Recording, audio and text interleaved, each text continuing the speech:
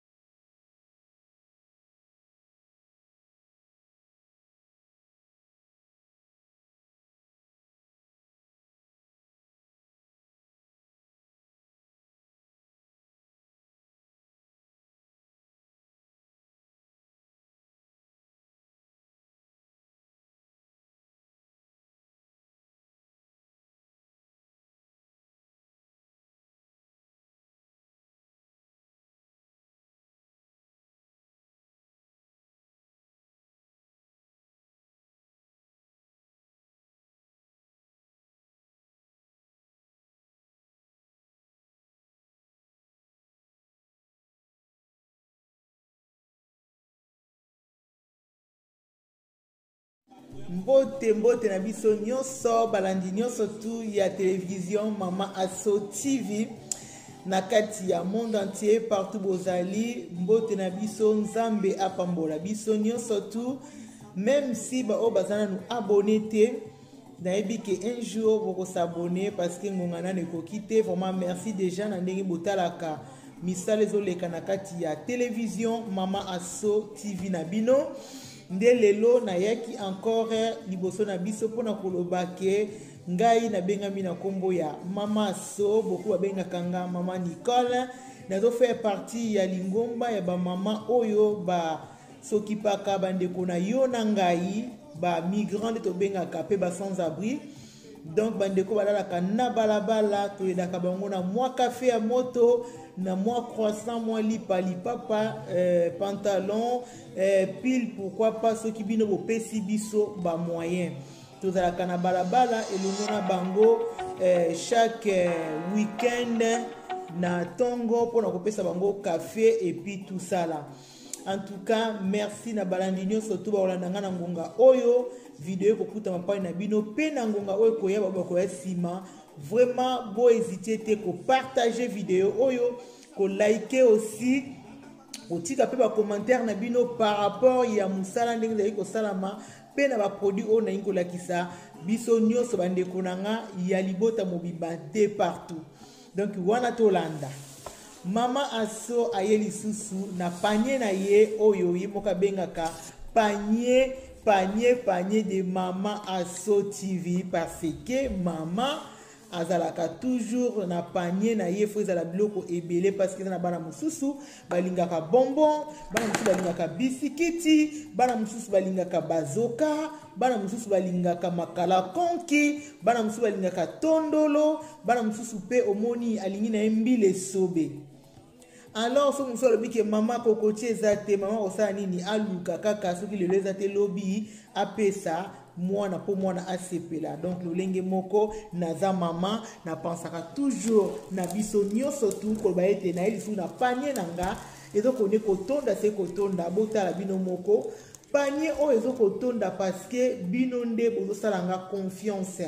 bana na nga bandeko na nga de partout parceke ngai nalingaka na nga kozala mama mpo naza mama deja nzambe akela ngai na ngolu na ye mama donc nasepelaka encore et encore bato babenga nga mama esalaka nga vraiment bien makasi parce que nakozonga nsima te nazokende kaka liboso na bambula oyo nzambe apesi kati na bomoi na nga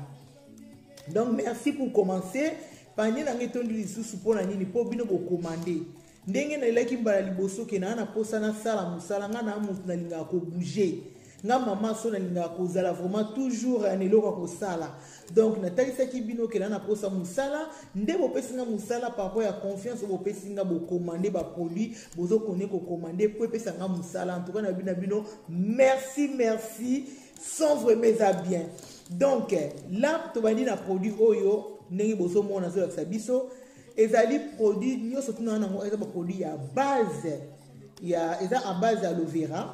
baproduit nyonso naturel donc mama so na kati ya panie na ye atekaka baproduit nyonso to ezali naturel ya bien-être ya beauté mpe ya santé donc bien-être oyo ezosala malamu na kati ya, ya nzoto na, epuis na santé aussi ya biso epuis aussi euh, ya bote kobongisa poso kobongisa suki kobongisa manzaka kobongisa nyonso donc baproduit mama so atekaka eza baproduit ya nzoto mobimba kobanda motu ti na makolo donc na kati ya baproduit na biso oyo mama so atekaka ya kompani oyo tozali na kobanda na rouge à lève faux de teint tire fil crayon de couleur crayon nyonso tu oyo bokoluka ya monoko ya mwindu ya chokola nyonso tu tozali kuna na kati toza na baparfum na kati ya baproduit kaka mama so atekaka mpo mama so aza na butiki monene eh? butiki wana so bokei na page na ya mama so na facebook eh? bobeti kaka nicole beauté soki obeti kaka nicole beauté page ya nicole beauté ekobimisela bino boutique ya mama so eza na biloko ebele en tout cas na na posa mosala bandeko na ngai bayaya de partout vraiment bokota botala bokoki kokomande eloko nyonso bolingi soki omoni te ekomela mama so loba mama so ngai nalingaki na ngai nalia makala konki me namoni na kati ya butiki te mama so akoyebisa yo ezali to eza te parce que bavariété eza ebele wana soki okomande ekoya ti na ndako na yo par la poste toza partout bohésite na bino te donc na ye produit oyo nabandaki kolakisa liboso yango oyo produit oyo nyonso ezalaka na kati ya panie ya mama so parceke naza mama esengeli naza na biloko ebele na panie na nga mpo naboti mpe bana ebele mwana mwana na bacaprice na ye produit oyo nalakisi biso eza mpona bato oyo balalaka bien te na butu oyo aza toujours ya euh, kolala pongi ekatanaka ye na ntongo okomi fatigue vraiment esalaka ye mopasi na kokende mosala na nyonso to soki olali bien te mama so alukeli biso solution solution yango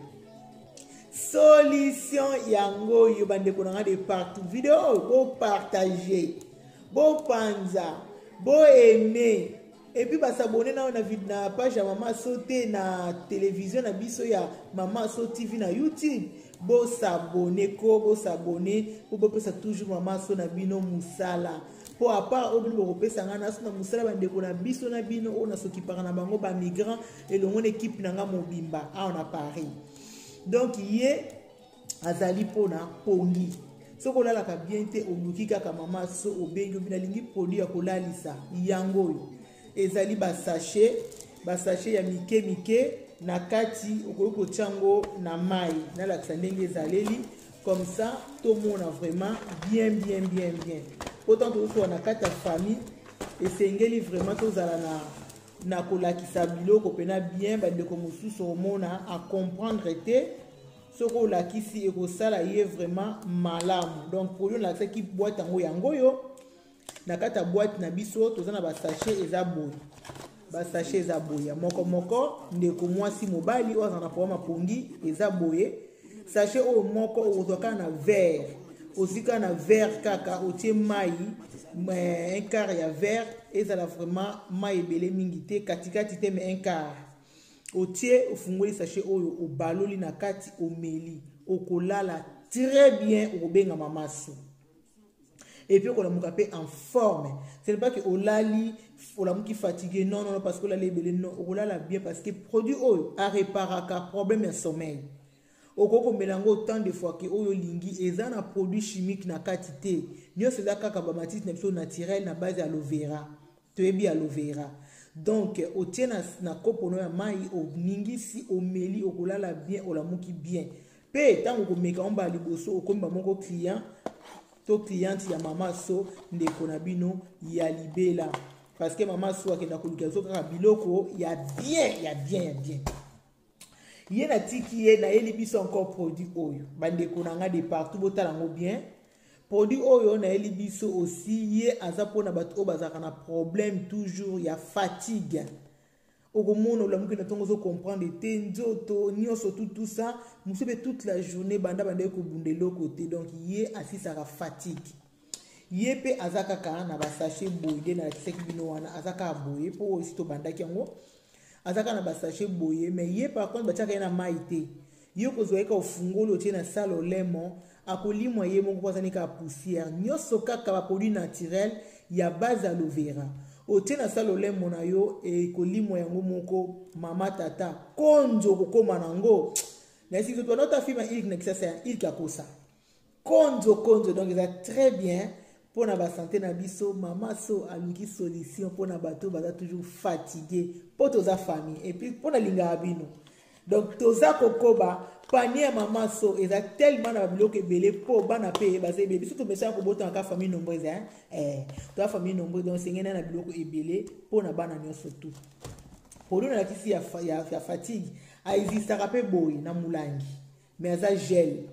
na gel yango sikoyo yo komeleka bouchon moko oyo ofungoli otondisi bouchon omeli na yo kaka soki olingi ya poudre te mpo somona yo poudre susu voilà aza mpe ya ya boye ya gel okozwa ye kaka otie na bouchon otie na monoko c'est bon mpo na fatigue toujours ntango nasilisi na ye na pake oyo bomoni ya pani ya mama abino eza toujours eh, ya kotonda mpe esili te ntina nsima na ye na produit oyo produit oyo nayeli biso eza boye bwate eza boye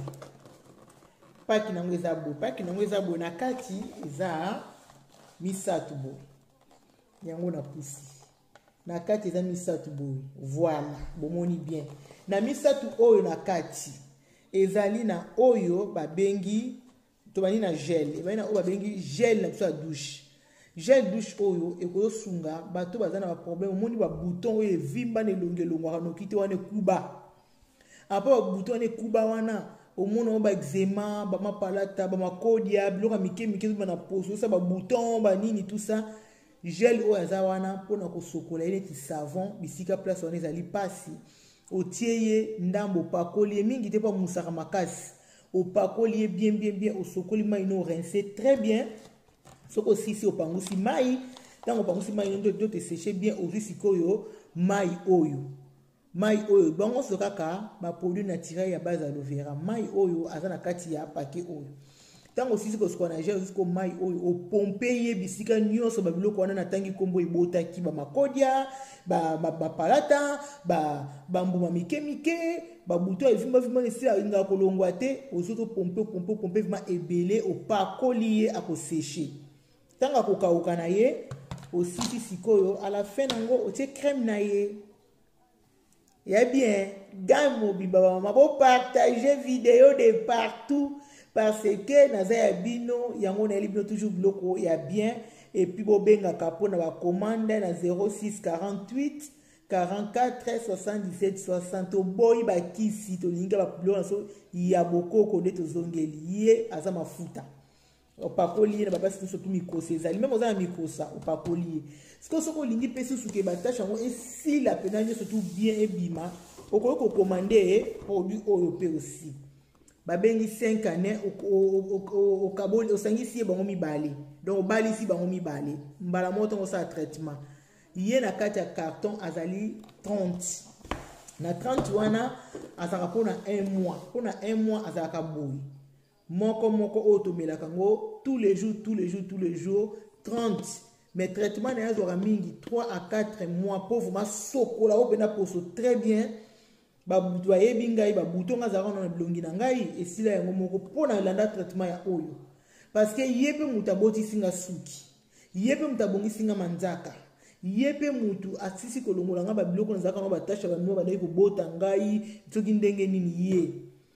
parce que na mela ye mpo ye aswaniaka na makila nkombo ne 5 année aza 30 na kati ya boite kosala traitement na ye pendant 3 4 mois vraiment komona résultat omona ke ah babilo yanso naturel eza fin donc voilà ndenge aza wana abotyaka suki basuki ekatana katana katana mpo ngai moko ngai oyo mama na mabandi bandeko na nga bo partage video asungi nga makasi yango na bayike na kobomba secret oyo te parce que eza tellement malamu nakabwana bandeko na nga raison yango wana nayaki mpa na bino naya kokabola epuis kopesa merci merci merci mingi na bandeko bakoni kosala nga toujours confiance parce que bazomona misala ndenge osalama na bakomande na bino bosali eza ebele vraiment sikoyo nde lobi a partir ya lobi oyo tokokoma jeudi na bandi kozwa temps ya kokende kokabola baproduit na bino baproduit na biso soki okomande na mboka nyonso ozali ekokoma na ndako no baye kotikela yo mai soki oyo naza nango awa ah, parceke toyokanaki ngai na bacliente na ngai bongo yo mpe soki olingi ekoma epa mama so problème te soki olingi ekoma mpa na yo problème te yobengaka mama so na privé tokosolola mama so aza na baproduit nyonso tu ya koniolisa mokongo mpo na douleur